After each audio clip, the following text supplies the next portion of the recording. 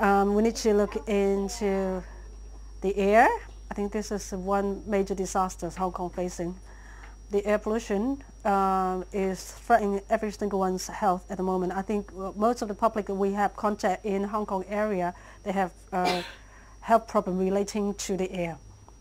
And, um, and then the ocean, Hong Kong is, ocean, is a city surrounded by ocean, but we know and our relation to our sea is so little.